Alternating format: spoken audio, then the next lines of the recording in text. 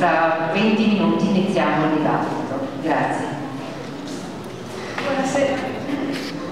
Faccio il racconto di come siamo arrivati qui. Insomma, diciamo, ci siamo trovati il, uh, il 15 maggio, scusate, la mia storia in Venezia cambia proprio quel giorno, nel senso che avevo seduto nell'appello e ho partecipato a quell'assemblea. E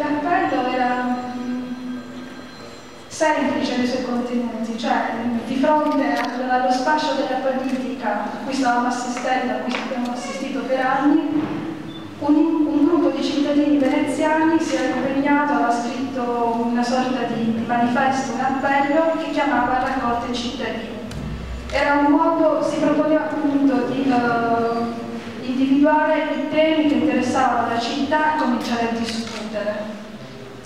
Dopo quel 15 maggio le cose a Venezia sono precipitate, sappiamo benissimo cosa è successo, Uh, la politica quindi ha fallito terribilmente e um, la catastrofe insomma, istituzionale che era capitata a Venezia, lo scandalo Mose, uh, la, le dimissioni della giunta e quant'altro.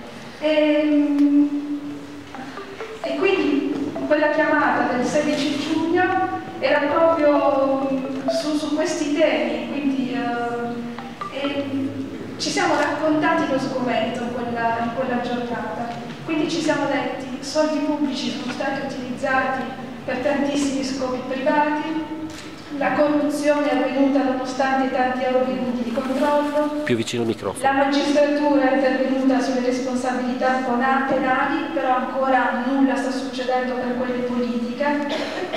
E eravamo anche consapevoli, abbiamo cominciato a raccontarci che se non si cambia il sistema, le persone che sostituiranno gli attuali corrotti si troveranno ad operare nelle stesse identiche condizioni e probabilmente con gli stessi risultati.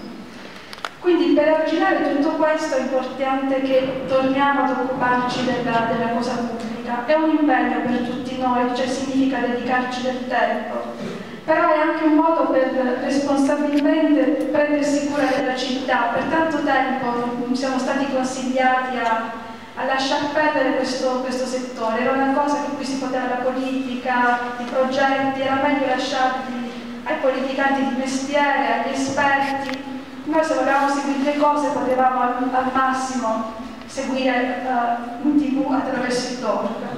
Abbiamo visto cosa, con, con quali risultati. E quindi abbiamo assieme ad altre anche associazioni il 10 luglio ci siamo ritrovati in questa sala e um, abbiamo cominciato ad interrogarci sui uh, nostri desideri sulla città.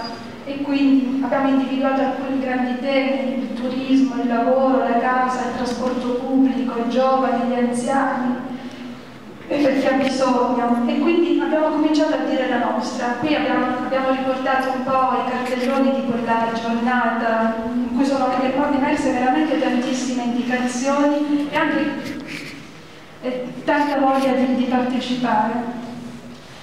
Tra, mm, tra le cose che sono state dette quel, quel giorno io ne ho estrapolate qualcuna sul, sul, sito di Venezia Cambia, però ci sono comunque i resoconti di, di quelle giornate. E quelli che mi sembrano più funzionali all'organizzazione di di questa serata, quindi far funzionare la rete, la rete delle associazioni che, uh, di cui Venezia per fortuna è ricchissima, individuare spazi pubblici dove trovarsi, perché uno degli ostacoli maggiori è proprio la difficoltà per la gente, per chi come noi vuole trovarsi alla sera per, per discutere uh, di politica o anche di altro. Individuare i canali di informazione perché i, campi, i canali classici non parlano delle cose che ci interessano e quindi forse dobbiamo cominciare a far sistema anche dei tanti canali di informazione piccoli, magari scollegati tra di loro, che però ci sono e che ci danno e che ci fanno capire cosa sta accadendo conoscere le pratiche di città che hanno già sperimentato con successo la partecipazione del basso, conoscere e proseguire le esperienze dei comitati e associazioni che praticano la partecipazione. Quindi abbiamo mm, elencati alcuni, io ad esempio faccio parte del, faccio parte del Veneziano Gas, però oh, conosco la, bellissima avventura di, di Poveglia e del coordinamento Io Decido e tanti altri. Sono tanti piccoli esperimenti in città che dicono che la città vuole occuparsi del, del bene comune, vuole occuparsi dei cittadini, vuole occuparsi delle cose che ci sono vicine. Quindi partire dalle esigenze e dai bisogni che la città esprime. Ecco, questa è la prima necessità.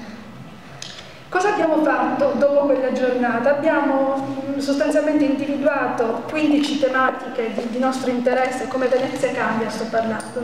Abbiamo attivato 12 tavoli di lavoro, abbiamo incontrato e partecipato ad attività con altre associazioni, abbiamo organizzato momenti di incontro e approfondimento.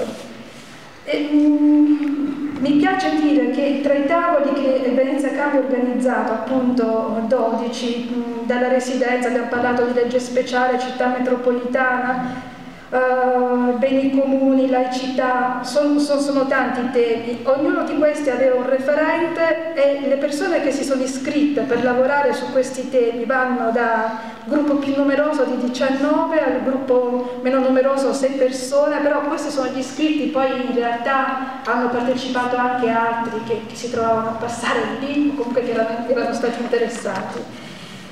Um, eh, tra gli esempi ci, ci, siamo anche attivati per uh, capire cosa le altre città hanno fatto e quindi abbiamo approfittato del, cioè, uh, dell'esperienza di alcuni di noi, dei contatti di alcuni di noi, abbiamo contattato il sindaco di Udine che ci ha raccontato questa bellissima esperienza uh, di, di, Udine dove una lista civica è a se al secondo mandato insomma, il sindaco eh, della città di Udine e anche forse un po' meno conosciuta l'esperienza di Padova dei 2020, una lista civica che è nata in poche settimane e che nel giro di alcuni mesi è riuscita ad ottenere poi alle comunali di Padova il 10%, per cui eh, non lasciamoci scoraggiare dei numeri che invece la stampa tradizionale ci, ci racconta. Quindi la strada che dobbiamo seguire certo non è semplice, però dobbiamo tracciarla e possiamo farlo appunto se le tante associazioni che per fortuna vedo qui anche molto ben rappresentate riescono a, a mettere assieme le, le, le proprie esperienze. E, quindi L'obiettivo è quello di riguadagnare i cittadini alla politica e la politica alla partecipazione democratica.